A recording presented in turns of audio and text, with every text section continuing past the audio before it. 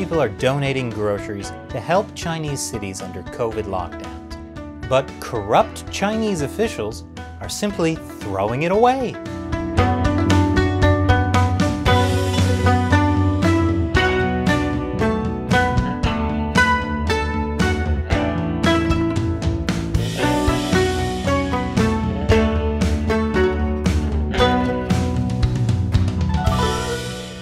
Welcome to China Uncensored. I'm Chris Chappell.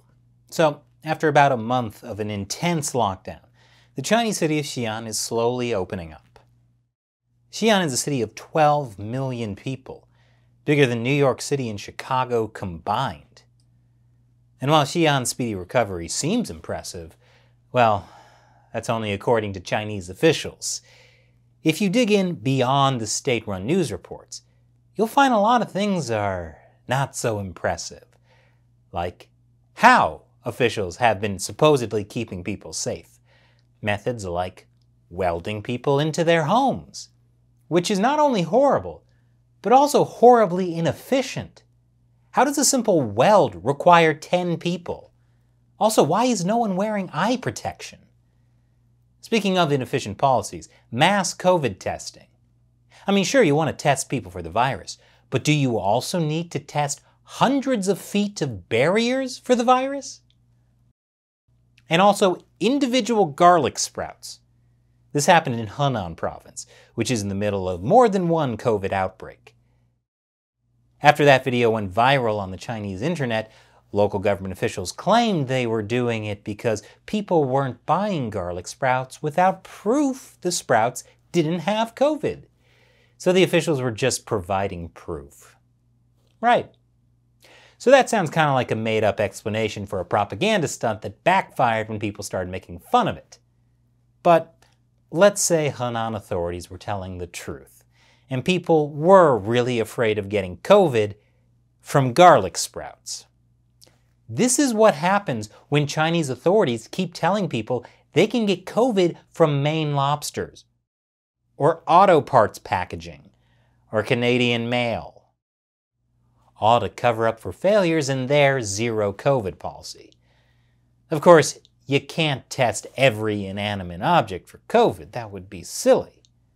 That's why Chinese officials are disinfecting everything instead. Disinfectant everywhere. Even small armies marching to disinfect an unused field while video recording it. But what's the harm in a little extra cleanliness, right? Well, the harm is this. It's winter time, with temperatures well below freezing in Xi'an, and that disinfectant spray turned to ice, and icy streets caused deadly car accidents. Is that why top disease experts keep saying China got it right on COVID 19 strategy? Or maybe it's because strict Chinese lockdowns left people starving in their homes and food prices skyrocketed, even if you could get food. On Chinese social media platform Weibo, people posted the prices of the vegetables they managed to purchase, whether it be from online or from certain contacts. One person wrote, I spent 111 RMB on these groceries. To get them, my parents had to go through a lot of connections. Local governments claimed they were listening to the concerns of the people. But instead of actually delivering food, they made videos of workers delivering food with maximum inefficiency. I wish I could say that's the only video of the notorious food delivery chain, but no, there are so many more. Here's one of people passing around groceries while singing the classic hit, Without the Communist Party, there would be no new China.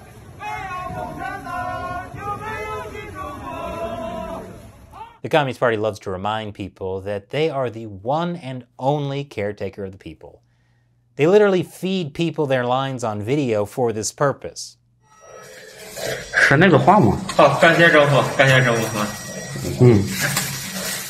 There's also this video that circulated online when Xi'an announced it would be opening up. 感谢共产党，感谢政府，感谢志愿者为我们付出。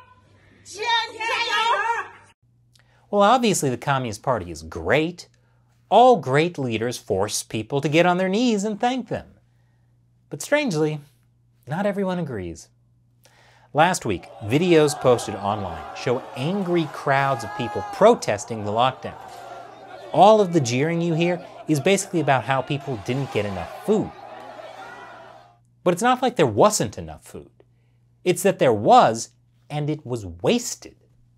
This video shows huge amounts of good food and groceries tossed in trash bins.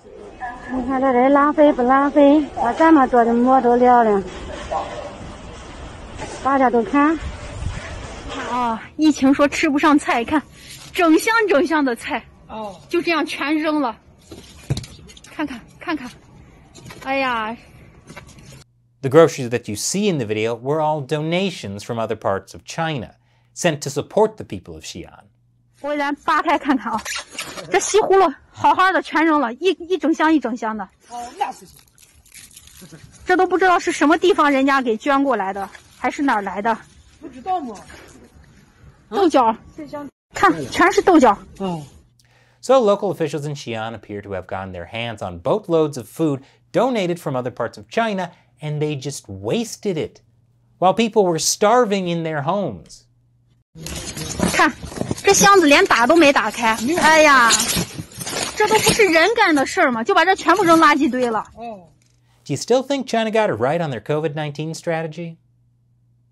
And now it's time for me to answer a question from one of you, a fan who supports China Uncensored on Patreon or Locals. SR Haddon asks, Why did the US intervene to save Korea from China, but not Tibet? Seems like Western interests would be more concerned about domino theory having aggressive communist China on the doorstep of billion population India rather than a backwater peninsula, which Korea was back then. Good question. It's mainly because in 1950, when communist China invaded Tibet, Tibet's situation was complicated. Since the fall of the Qing dynasty in 1912, Tibet was ruled as an independent country. But even though the Dalai Lama had declared Tibet was independent and was ruling Tibet independently, Tibet couldn't come to a formal agreement with the new Republic of China. Essentially, China never gave up its claim over Tibet. Even before the Communist Party took over China in 1949, no Western countries formally acknowledged Tibet as an independent country. That included the US, which told the Republic of China in 1942 that they never disputed Chinese rule over Tibet. The US also didn't have a lot of power in that region at the time. Arguably, if any Western powers should have gotten involved, it was the UK. They had been supporting and advising the Tibetan army. But they had just left India, so it was probably not the best time to send British troops into the region. That's a big contrast with the Korean War. The US saw defending South Korea as a meaningful way to stop the global expansion of communism. And strategically, it allowed the US to keep a permanent military presence right on the doorstep of Communist China and the Soviet Union. Thanks for your question and your support, S.R. Hayden. And thank you to everyone else who supports China Uncensored on Patreon. If you haven't joined yet, check it out. Go to patreon.com slash China Uncensored and support us with as little as a dollar per episode. And you'll get cool perks, like me being able to answer your question on the show. Link is below. Once again, I'm Chris Chappell. Thanks for watching China Uncensored.